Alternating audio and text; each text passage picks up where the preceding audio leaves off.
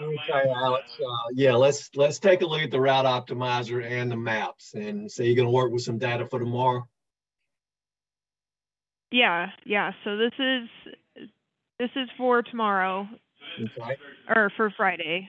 So you pulled down that particular tech and then went to the route optimizer. Yep. Okay, and that's the route the way they've got it configured now. correct. And then I just do optimize route. I want him to start from here. Um, I just hit calculate.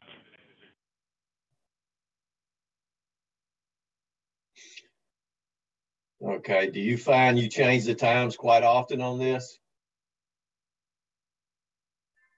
Like, does it take a long a long time? Is that what you said? I'm saying, I'm saying now you've got a seven, eight, nine, and eleven, and a ten over here on the bottom.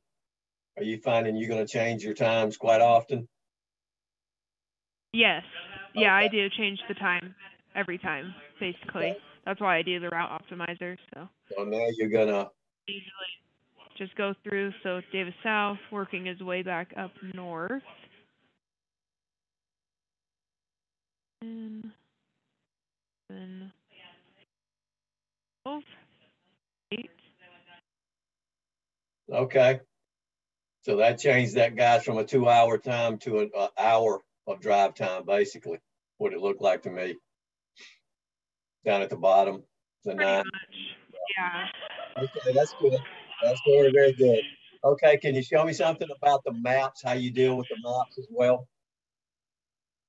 Yeah, so let's see if I have a new one.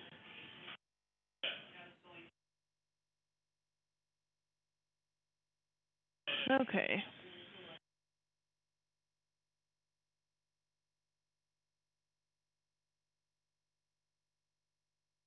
This is an open work order. You're trying to figure out where to send, uh, who to send it to and when, right? Yes. So I'm gonna go in this this particular one that was a placeholder. So let me go into one that the actual job. Reset, reopen it.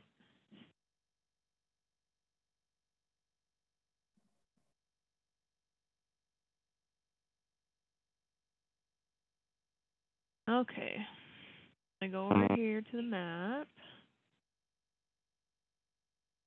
Zone. And I always double check to make sure that it's their correct place. Like Mhm. it's on Glen Wild Drive. So you, your grid now has all the, the jobs for, in that zone for, uh, what time Right. frame? It's four hundred and thirty-one records, so that's a big time frame. Yes. Right.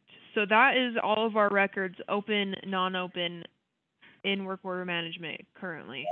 Right, So I always go down and say I want it to be between these dates.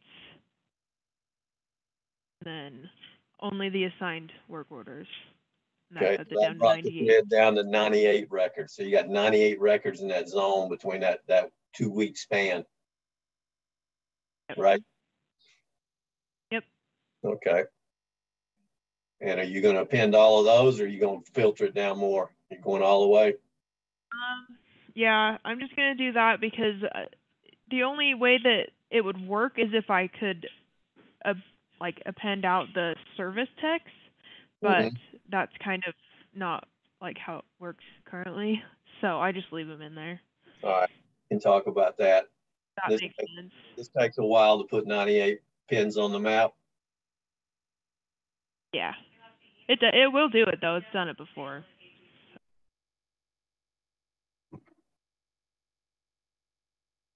That one out there in the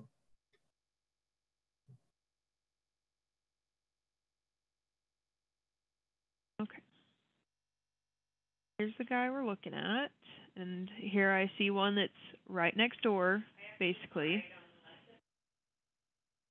So, I'm gonna go to the calendar.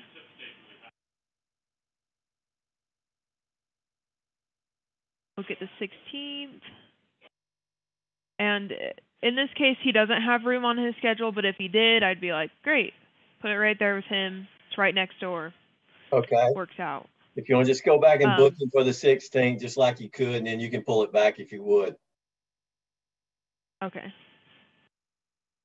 Okay, you just book it right here. That's okay. You do it out of work order management. You don't book it at, at the map level. No, I've never tried that. I guess I probably could, but All right, well, we need to look at that. We'll make that modify schedule hot. But well, that brought up your quick assign, so that's all good. That's what I wanted to see. So, okay, Alex. All right, um.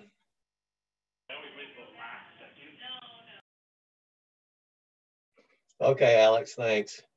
Yeah, that's our, uh, uh, quick overview of our route optimizer and also how we utilize the map function to find a particular work order and hopefully schedule it efficiently in Service Proz. If you want any more information on it, don't hesitate to give us a call or drop us an email. And we'll uh, give you a overview on that as well. 386-547-3930. Serviceproz.net. Thanks.